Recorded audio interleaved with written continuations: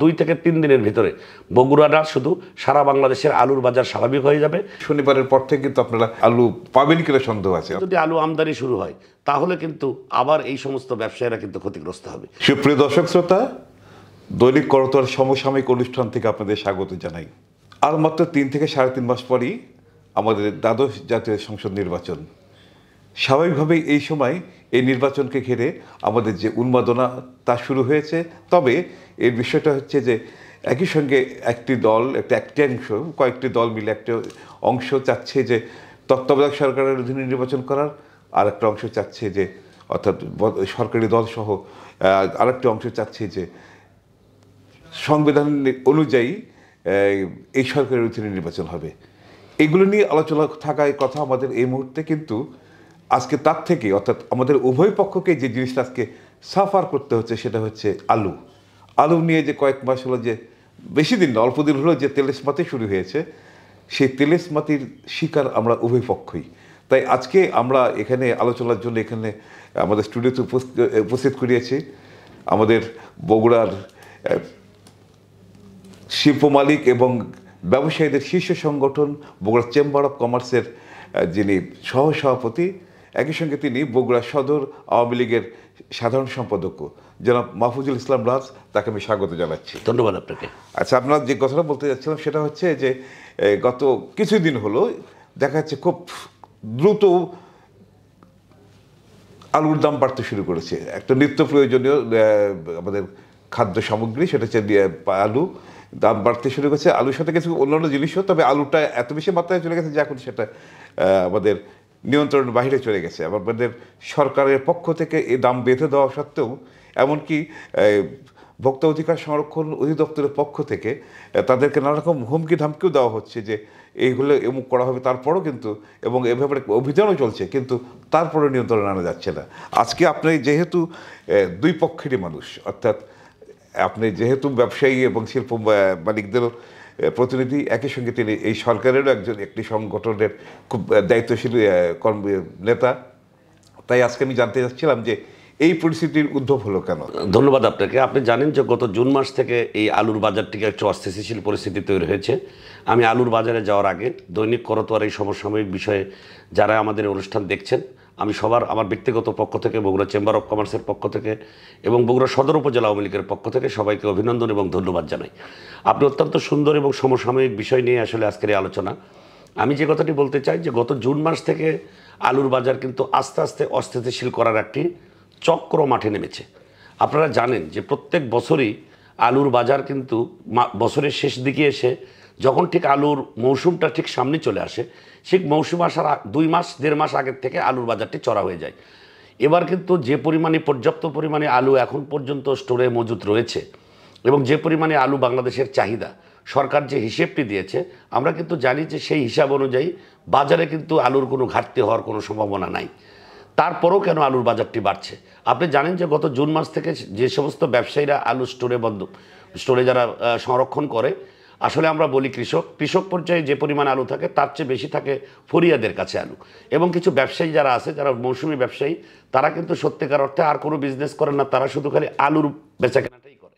এবং এরকম মানুষের কাছে পর্যাপ্ত পরিমাণে আলু রয়েছে এবং যেগুলো স্টোরে রয়েছে, এই আলুগুলো কিন্তু আসলে তারা জুন মাস থেকে পরিমাণে যেখানে দশ গাড়ি সেল হওয়ার কথা সেল করার কথা, সেখানে তারা পাঁচ গাড়ি, ছয় গাড়ি করে সেল করে দিয়ে মার্কেটে একটা কৃত্রিম সংকট তারা তৈরি করেছে। এবং এটি কিন্তু সরকার ঠিক নির্ধারিত সময় কিন্তু সরকার এটি বুঝতে পেরেছে এবং যে কারণে ভোক্তা অধিকার কিন্তু ইতিমধ্যেই মাঠে নেমেছে এবং সরকারের বিভিন্ন টিম এটাকে, এটার পক্ষে পক্ষে কিন্তু কাজ করছে যে কীভাবে এটাকে নিয়ন্ত্রণ করা যায়। আপনি জানেন যে গত কয়েকদিন আগে বগুড়াতে ভোক্তা অধিকারের মহাপরিচালক মহোদয় এসেছিলেন এবং উনি কয়েকটি আলুর স্টোরে অভিযান চালিয়েছে। সেখানে কিন্তু আলু পর্যাপ্ত আলুর মজুত রয়েছে এবং তারা কিন্তু সরকারি নির্ধারিত মূল্যে বিক্রি করতে চায়। সব কিছু তারা আমাদের সামনে অথবা প্রশাসনের সামনে তারা কিন্তু এই কথাগুলো বলে। কিন্তু মূল সংকটের যে জায়গাটি সেটি হলো ভোক্তা অধিকার এই অভিযানটি পরিচালনার পরে যারা বাজারে যে সমস্ত খুচরো ব্যবসায়ী, যারা দুই চার বস্তা, পাঁচ বস্তা, দশ বস্তা করে প্রত্যেক দিন আলু কিনে, স্টোর থেকে আলু কিনে নিয়ে এসে বাজারে বিক্রি করে, তাদেরকে তারা স্লিপটা সরবরাহ করছে না। এবং এই স্লিপটা সরবরাহ করা না করার কারণে কিন্তু তারা বারবার বলছে যে আমরা যদি আলুটি নিয়ে রাস্তায় গিয়ে ধরা খাই, প্রশাসন যদি আমাদেরকে ধরে, তাহলে আমরা আর কোনো জবাব দিতে পারব না। সেই কারণে কিন্তু আলুর একটি সংকট ইতিমধ্যেই মার্কেটে কিন্তু আমরা লক্ষ্য করছি এবং যে সরকার বাদে দেওয়া দামের চেয়েও কিন্তু বেশি দামে আলু বিক্রি হচ্ছে। তবে আমি বিশ্বাস করি, আমরা কিন্তু সেদিন আহ্বান জানিয়েছিলাম যে ব্যবসা একটি পবিত্র জায়গা। এই, এইরকম একটি মমস্য সময়ে যখন আপনি মানুষকে বেকায়দায় ফেলে কোনো বিজনেস আপনি বেশি লোভের আশায়, বেশি লাভের আশায় যখন আপনি করতে যাবেন, সেই কাজটি কিন্তু আসলে বৈধ নয়। এখন আপনি একজন মানুষকে জিম্মি করে যদি আপনি ব্যবসা করেন, তাহলে তো সেই ব্যবসাটি কিন্তু ধর্মীয়ভাবে বৈধ বৈধ না প্রশাসনিকভাবে বৈধ না। যে কারণে কিন্তু আমরা কয়েকদিন আগে কিন্তু বলেছিলাম যে একটু মানবিক আচরণ করে সরকারের নির্ধারিত মূল্যে আলু আমরা বাজারে সবাই সরবরাহ করি, তাহলে যে পরিমাণ আলু আছে সাধারণ মানুষও খেয়ে বাঁচবে আপনাদেরও প্রফিট হবে। সব কিছু মিলে বাজারটাকে আমরা স্বাভাবিক রাখতে পারব। কিন্তু আপনি জানেন, এটি নির্বাচনের শেষ সময়। আপনি যে কথাটি প্রথমে আলোচনায় নিয়ে এসেছেন, আর নির্বাচনের চার পাঁচ মাস বাকি, এক শ্রেণির ব্যবসায়ী এবং এক শ্রেণির রাজনীতিবিদ, তারা কিন্তু চাবে যে সরকারকে যে কোনো মূল্যে, যে কোনো কায়দায় তারা একটু বেকায়দায় ফেলানো এই বেকায়দায় ফেলানোর প্রেক্ষাপটটা কিন্তু তারা তৈরি করতে চায়। কিন্তু সত্যিকার অর্থে বহুবার তারা এই চেষ্টা করেছে সত্যিকার অর্থে তারা পারেনি। আমার বিশ্বাস আর দুই থেকে তিন দিনের ভিতরে বগুড়াটা শুধু সারা বাংলাদেশের আলুর বাজার স্বাভাবিক হয়ে যাবে এবং মানুষের ক্রয় ক্ষমতার মধ্যে চলে আসবে। যারা এটার পেছনে চক্রান্ত করার চেষ্টা করেছিল সেই চক্রান্ত ভেস্তে যাবে। না ঠিক বলেছেন। আমি যেটা বলছিলাম দৈনিক করতোয়াতে গত সতেরো তারিখে একটা সংবাদ প্রকাশিত হয়েছিল যে বগুড়ায় মানে হিমাগারগুলোতে যেসব আলু যে পরিমাণ আলু মজুদ আছে তা দিয়েই গোটা রাজশাহী দুই রাজশাহী এবং রংপুর ডিভিশনের মানে চাহিদা মেটানো সম্ভব। এছাড়া তো আমাদের দিনাজপুর এবং রংপুর অঞ্চলে তো অন্যান্য আছে সেখানেও তো উদ্যোগ মজুদ দিয়ে কিন্তু আছে তারপরে অন্যান্য জায়গা তো থাকলোই। কিন্তু একই সঙ্গে যে আমাদের এখানে গত মঙ্গলবার দিন যিনি ভোক্তা অধিকার সংরক্ষণ অধিদপ্তরের যিনি মহাপরিচালক এসেছিলেন, উনি কিন্তু একটা কথা বলেছেন যে আমরা প্রয়োজন বোধে এই ওইখান থেকে, অর্থাৎ উনি কিন্তু আর একটা কথা বলে, বড় কথা বলেছেন, সেটা হচ্ছে যে হিমাগার মালিকদের ছত্রছায় একদল ফুরিয়া এই- এইসব ঘটনা ঘটাচ্ছে। তারা কিন্তু হিমাগার মালিক হিমাগার মালিকদের কিন্তু ছাড় দেননি, উনি কিন্তু তাকে যুক্ত করেছেন এবং বলেছেন যে তারা একই একই দোষী দোষী হচ্ছেন। তার বড় প্রমাণটা হচ্ছে যে আপনি যে কথাটা বললেন যে স্লিপ পাচ্ছেন না ওখানে মানে যেটা কিনে আসছে। কারণ কেনা বেচা কিন্তু ওই হিমাগারের চত্বরেই হচ্ছে, সেটা পাচ্ছে না। তার থেকেও বড় ব্যাপার যাচ্ছে আরও ভয়াবহ কারণ হচ্ছে, গত বৃহস্পতিবার বগুড়ার বাজারে দেখা গেলো যে মানে যারা পঞ্চাশ কিংবা পঁয়তাল্লিশ টাকা কেজি দরে যারা আলু বিক্রি করছিল তাদেরকে বাধ্য করা হলো সরকারি নির্ধারিত ছত্রিশ টাকা দরে। এখন তাদের বক্তব্য হচ্ছে যে, আমরা কিনেছি অনেক টাকা দরে বিয়াল্লিশ তেতাল্লিশ টাকা দরে, আমরা কেন ছত্রিশ টাকা বিক্রি করতে তার দরকার নেই, আমরা আলুই কিনবো না। অর্থাৎ ওরা যদি না কিনে না সেটা আমরা কিন্তু যারা ভোক্তা আছে তারা কিন্তু পাবো না। এবং এটাই কিন্তু অনেকেই বলেছে যে আপনারা দেখুন শনিবারের পর থেকে কিন্তু আপনারা এই মানে আলু পাবেন কিনা সন্দেহ আছে। অর্থাৎ এই যে একটা সংকট মানে কি? মানে থেকেও নাই এরকম একটা অবস্থা সৃষ্টি। এই জন্য যে কড়া পদক্ষেপ নেওয়ার যে কথা বলেছেন সেটা কি হলো আপনাদের পক্ষ থেকে এবং সরকারের পক্ষ থেকে? আপনি আপনি ইতিমধ্যেই জানেন যে ওই যে যেদিন ভোক্তা অধিকারের মহাপরিচালক মহোদয় এসেছিলেন ওই দিন কিন্তু ওখানে তিনজনকে গ্রেপ্তার করেছে। সত্যিকার অর্থে বাংলাদেশের ব্যবসা বাণিজ্যের যে সিস্টেম, এটি আমাদেরকে মানতে হবে। আপনি জানেন যে প্রতিটা কোল্ড স্টোরেজে কিন্তু পাঁচ থেকে দশজন করে বা তিন, চারজন, পাঁচজন, সাতজন করে কিন্তু ব্যবসায়ী থাকে, তাদেরকে আমরা ফরিয়া না বলি। তাদের কিন্তু ব্যবসা থাকে। যেমন একটা কৃষক গ্রাম থেকে অথবা একজন মানুষ তার হয়তো পঞ্চাশ বস্তা দুইশো বস্তা পাঁচশো বস্তা পাঁচ হাজার বস্তা আলু আছে। সে হয়তো আজকে মনে করতেছে যে আমি আজকে দুই গাড়ি আলু বিক্রি করব। সে কিন্তু আগে সরাসরি ওই কোল্ড স্টোরেজের নিচে বসে থাকে দেখবেন কিছু মানুষ। আচ্ছা। ওই মানুষের কাছে কিন্তু সে আগে ফোন দেয়। এই দেখো আজকে ঢাকার বাজার কত দেখো আজকে কাউরান বাজারের মার্কেট কত অমুকের মার্কেট কত আমি আজকে পাঁচ গাড়ি আলু বিক্রি করব। এখন সে চায় যে ওই মালিকের কাছ থেকে এই মার্কেটের সাথে পঞ্চাশ একশো টাকা দরে কিনে কম দামে কিনে সে মার্কেটটাকে ঢাকাতে সরবরাহ করতে। ওই মালিকের কাছ থেকে কিন্তু সে স্লিপটি কিনে নেয়। কিনে নিয়ে সে স্টোর থেকে আলুটা উঠাইয়া সে কিন্তু ঢাকায় পাঠায়। এই যে ঢাকার পাঠানো আর ওই ওই বিক্রেতারা কৃষকের কাছ থেকে আলু কেনার যে মাঝখানের যে পার্থক্যটা এই পার্থক্যটা কিন্তু একটা বড় পার্থক্য এখানে তৈরি হয়। সরকারকে এখানে নজর দিতে হবে। আর পাশাপাশি যে সমস্ত বড় বড় ব্যবসায়ী যারা কোল্ড স্টোরেজের মালিক তাদের কাছে আমাদের চেম্বারের থেকে চেম্বার থেকে তরফ থেকে এবং সরকারের তরফ থেকে আমাদের কাছে অনুরোধ থাকবে তাদের কাছে যে আপনারা অন্ততপক্ষে নিশ্চিত করুন যে যারা এখান থেকে আলুটা বের করছে তারা সেই আলুটা যেখানে বিক্রি করছে সেই বিক্রি করার রসিদ চালান আপনাদের কাছে নিয়ে রাখার। সেদিন কিন্তু এই কথাটি উঠেছিল কিন্তু আপনারা কিন্তু আমাদের কোল্ড স্টোরেজের মালিকরা কিন্তু এই এই কাজটি কিন্তু তারা নিতে চায়নি। এবং এই কোথায় সে আলুটা বিক্রি করল এটা যদি আমরা নির্ধারণ করতে পারি এবং আলুটা কত দামে বিক্রি করল এটা যদি আমরা নির্ধারণ করতে পারি তাহলেই কিন্তু আমাদের আলুর বাজারটি নিয়ন্ত্রণ হয় আর সবচেয়ে বড় কথা মানুষকে এরকমভাবে আপনি প্রশাসন দিয়ে ধরিয়ে কোনো ব্যবসায়ীকে প্রশাসন দিয়ে ধরিয়ে সব কিছু মিলে এগুলো করে আসলে বাজার নিয়ন্ত্রণটা ভেরি কঠিন হবে। কঠিন হয়ে যায়। সত্যিকার অর্থে আমরা চাই মানুষকে একটু মানবিক হতে এবং ব্যবসায়ীদের এই চাহিদার প্রেক্ষাপটটি। সরকার ইতিমধ্যেই কিন্তু ডিজি মহোদয় সেদিন এই কথাটি বলেছে যে যদি আলুর বাজার নিয়ন্ত্রণে আমাদের তিন থেকে চার দিনের ভিতরে না আসে আমরা সরকারকে বলে দিব আলু আমদানি করার জন্য। সত্যিকার অর্থে যদি আলু আমদানি শুরু হয় তাহলে কিন্তু আবার এই সমস্ত ব্যবসায়ীরা কিন্তু ক্ষতিগ্রস্ত হবে। আমরা চাই আলু আমদানির আগেই তারা যেন বাজারটিকে স্বাভাবিক রেখে আলুর বাজারটিকে স্থিতিশীল রাখে। প্রকৃতপক্ষে সব ব্যবসায়ীর ক্ষতিগ্রস্ত হওয়ার আর আশঙ্কা নাই। এই কারণেই তারা এই কয়েকদিনে কিন্তু জ্বালাপ পড়তা কিন্তু লাভ করে নিয়ে গেছে। যেটা মানে ওই ডিজি সাহেব বলছিলেন যে মানে আঠারো থেকে বিশ টাকা করে টোটাল খরচ পড়ে।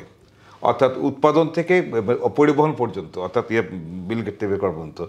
সেখানে তারা মানে চল্লিশ বিয়াল্লিশ টাকা করে বিক্রি করছেন পাইকারদের কাছে। মানে পাইকারদের কাছে চল্লিশ টাকা মতো আর বিয়াল্লিশ টাকা করে বিক্রি করছে আপনার খুচরা ব্যবসায়ীদের কাছে।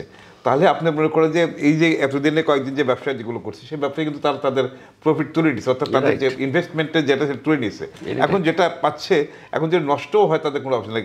সেই কথা আপনি যে কথা বলেন যেটা মানবিক হওয়া দরকার যদি মানবিক হতো তাহলে হতো। তবে এটা তো নিশ্চয়ই একজন রাজনীতিবিদ হিসেবে আপনার কাছে আমরা মানে- প্রত্যাশা করছি এবং আপনি নিজেও বোঝেন যে সামনে নির্বাচন, নির্বাচনে কিন্তু এ ধরনের দ্রব্যমূল্যের যে এই অস্বাভাবিক স্ফীতি নিয়ন্ত্রণহীন অবস্থা, এটা কিন্তু আসলে একটা নেতিবাচক প্রভাব ফেলতে পারে।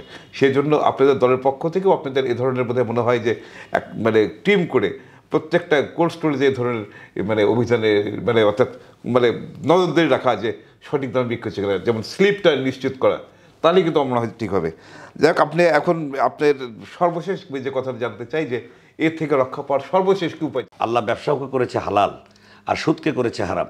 আমরা যারা ব্যবসায়ী, আমাদের যদি প্রত্যেকটা ব্যবসার ক্ষেত্রে যদি আমরা লিমিটেড প্রফিটের জায়গায় থাকি, তাহলে কিন্তু আমাদের এই সংকটটি তৈরি হয় না। কিন্তু আমরা মনে করি যে, অনেক সময়ই এটি আমরা ডাবল থ্রি ডাবল বিক্রি করে আমরা আমাদের মুনাফাটি আমরা ঘরে উঠাবো। এটি একটি অসাধু চক্র।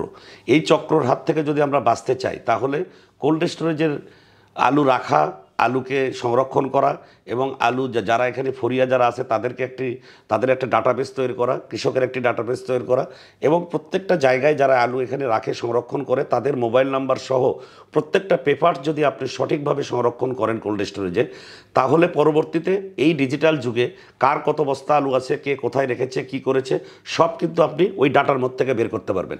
এবং সে যেখানে আমি দশ হাজার বস্তা আলু রাখি আমার এই দশ হাজার বস্তা আলু রাখার কারণ কি? আমার কোন সময়ে আলুটি ছাড়তে হবে? এবং সেই মানুষটি কোন গোত্রীয় মানুষ? তার কারণ ব্যবসায়ীদেরকে আমরা সত্যি সত্যি কোনো গোত্রে ফেলাতে চাই না।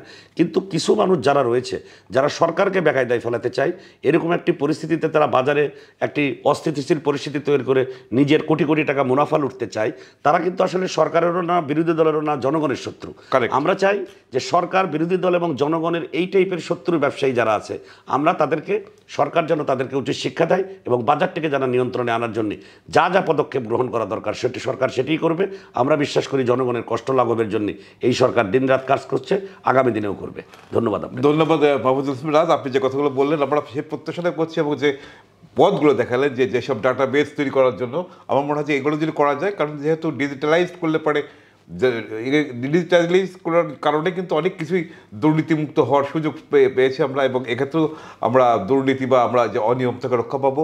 আর এবং আমরাও প্রত্যাশা করছি যে আগামীতে আমরা যখন সমসাময়িক অনুষ্ঠানে আসব খুব অল্প চিরেই তখন এই প্রসঙ্গটা আর থাকবে না, আমরা হয়তো অন্য কোনো প্রসঙ্গে নিয়ে আসব।